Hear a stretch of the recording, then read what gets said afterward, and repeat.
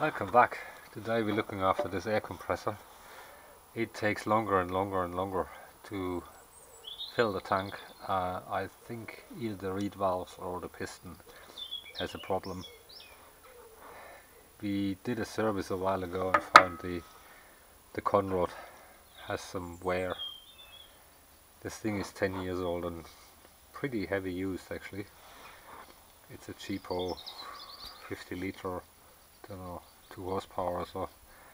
Um, I got a bigger one, but the problem is the large one is not really portable, so I like to have something portable. So let's take it apart, take the cover off here, and take the cylinder head off and look how, how the reed valves look like. They're probably just dirty or worn. We'll come back when we have plastic stuff off. So a simple test is you just hold your hand carefully and turn it by hand and if it's losing pressure on, on the intake uh, you either got a reed valve problem or there is so much wear on the piston and the bore that this thing is just worn. Uh, yeah, it has a lot of hours. I can't tell you how many, but pretty much every day I was in the shop this thing was running. And uh, I use I did a lot of sandblasting and plasma cutting and things like that. So yeah it's had its fair share. And uh, it's a hobby machine. Yeah well it's rubbish. What do you expect from a Chinese 100 pound or 120 dollar or 140 dollar compressor? All right um, I can tell if I if I put my hand on, on the intake and turn it until I feel it's sucking and wait a little bit, the pressure disappears. So we take the cylinder head off and check how the reed valves look like. Well, it looks better than expected actually. The, the cylinder looks good. There's a bit of debris on top. But the biggest problem is that the reed valve isn't sealing anymore so this is the intake reed valve and it just sits here on that hole. So it just sits here on that hole and you can see there's quite a bit of dirt. Yeah if we clean that maybe lap it a little bit it's probably okay because everything else looks fine. Obviously get rid of the debris. Yeah give that a, a nice lap and it should be just fine. This is just corrosion and dirt. Uh, because if you if I hold my hand on the piston and turn the turn the wheel uh, it holds the pressure. So the problem is the cylinder head the outlet reed is fine, there's no problem with that. It's just the intake reel, uh, just the intake reed needs a bit of rework. It's not cracked. No, no it doesn't look doesn't look cracked. It's just dirty. So all it needs is a good clean and then we're probably good to go. Let's try that. So we gave it a decent clean and there's still a mark visible. I don't know if it's visible here. You can see the port. The intake port is visible. So we just flip it around. If that gives us another 10 years of service we're happy with that.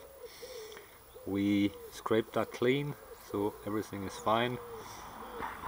And we go if we go for the new surface this is smooth as silk.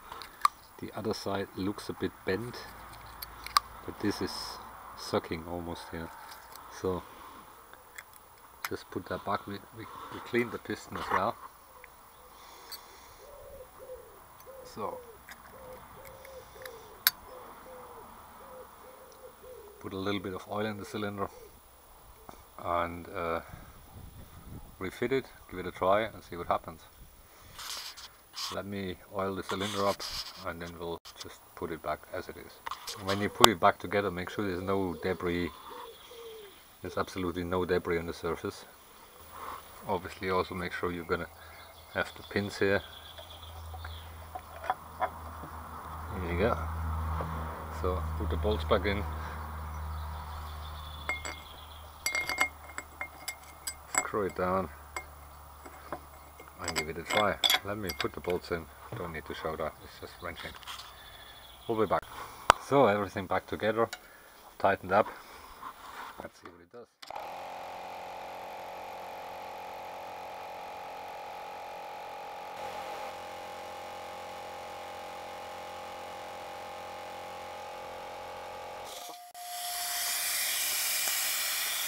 Ah. The drain plug is open.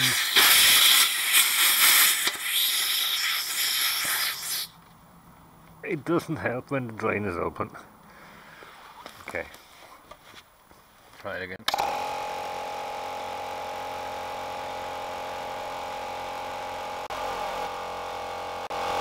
It's not too bad. It's a bit better because before it took 10 minutes or so. It's probably about 4 minutes and it's full. So it's pumping a lot better now.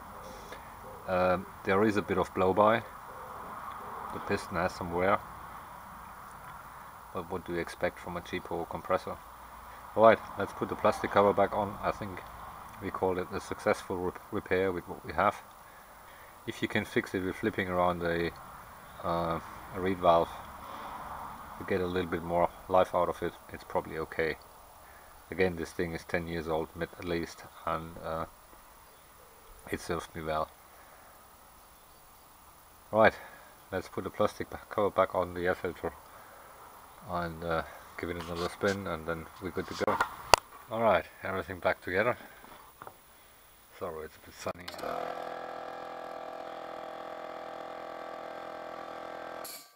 Sounds alright to me. I'll see how it performs for me. Draw a little bit more air. While I was running the the Isola it was constantly turning on. That's gonna come at some point because we made a major step forward on the Isola. Uh, made a new hydraulic cylinder for it. Yeah, that's gonna come soon. Alright, uh, we called it good it's working. Uh, it's working better. It's not as new because there is blow by. But what do we expect from a compressor which is end of life? Alright, that's it from this one. Thanks for watching. Thanks for subscribing. Until next time.